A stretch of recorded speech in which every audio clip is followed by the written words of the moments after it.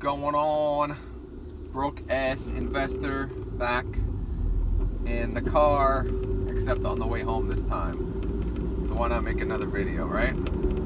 Quick video today, hopefully. Uh, I just want to talk about the recent news. Um, TD Bank and Charles Schwab both are now offering zero dollar commission trades. Pretty freaking about damn time, right? So, why are they doing this? You know why. Robinhood.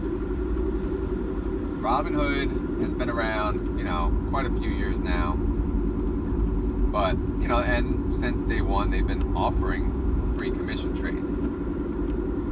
Which, you know, brand new platform, app based only in the beginning. People, a lot of people that were already in the market were very hesitant to trust, um, you know, such an app. And then came along M1, and then came along Webull, also free trading apps, different, um, you know, they're better for different things. And over the years, obviously, they're making an impact. So, TD America, uh, TD Ameritrade brokerage and Charles Schwab brokerage obviously are feeling something. So it's possible that, you know, people have left them for this very reason. I know their commission trades were around, uh, I believe it's five to seven dollars each or something around there, rounding up. Um, you know, so you buy one, even one stock, five to seven dollars. You, you sell even one stock, five to seven dollars. So obviously, when you are in a brokerage like that, you want to do, you want to make it count. Every time you make a transaction, it has to count. So if you're a day trader, you don't want that for sure. I mean, I'm not trying to stick up for day traders, but can't see them having a need for an app that charges that type of fee. But um, even you know, low, lower, you know, people with lower income trying to invest. You have a hundred dollars, and you want to buy one share of, let's say, I don't know, Target. Say it's ninety dollars. I don't know what it's at now, but you'd have to pay ninety-five dollars, which is completely ridiculous. So how long would it take alone to make up that five dollars? You know, between dividends and capital gains, etc. So it's pretty. I always, since I got involved in investing, I always thought it was ridiculous to pay a commission. Um, knowing that you had to pay, pay a commission, it kind of kept me away from the market in general because knowing the commission amount, like five, six, seven dollars, if I'm thinking, okay, if the commission is that, there's no way I can afford to invest. And then I found Robinhood, and sure enough, free trades. So the moral of the story is we all need to thank Robinhood because obviously they have disturbed the space. They have disrupted the sector. Uh, people are feeling it. TD Ameritrade. Well, Charles Schwab actually, I think, was the first to act yesterday. I believe it was.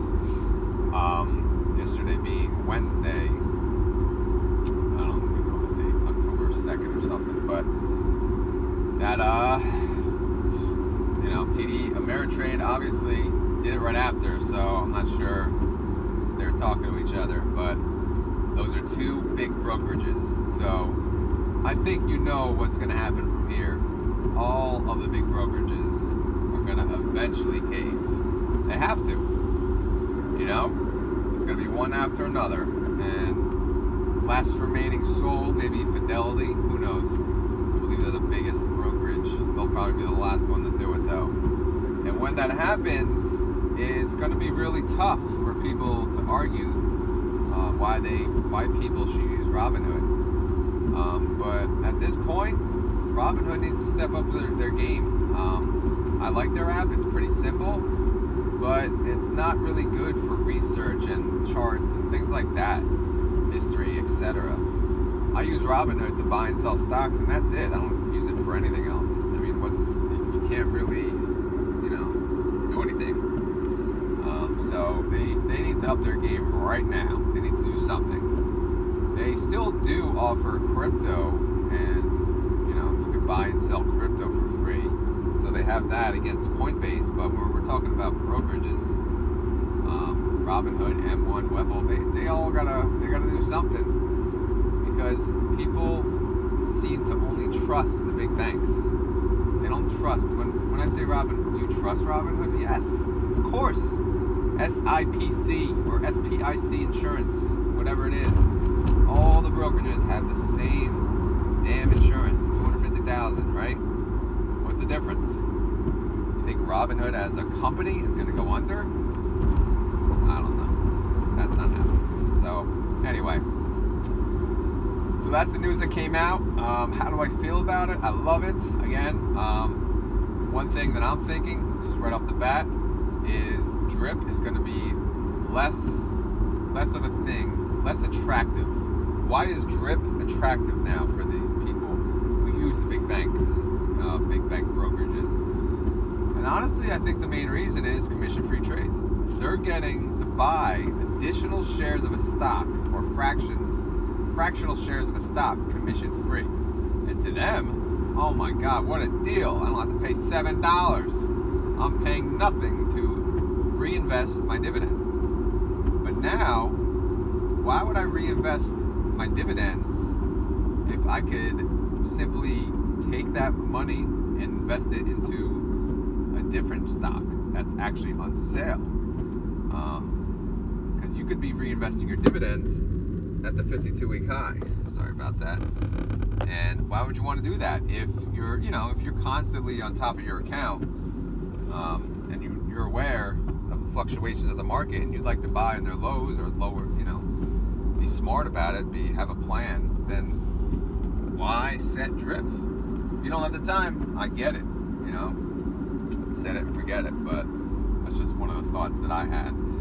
So yeah, that's it for today. Uh, just wanted to cover a quick video on that. Um, like I said, let's all thank Robinhood. They're awesome. They started this. M1 came second, I believe, and then Webull. Acorns, stupid. I don't know. If they charge a dollar. They better do something. I know they're attached with the whole debit card thing, but you can't charge a dollar anymore at Acorns. You, you better get with it. So, anyway, uh, that's my uh, that's my feeling about it. That's the update, at least from a broke investor. Uh, leave a comment below what you guys think about it, and go from there. All right. Thanks a lot. Later.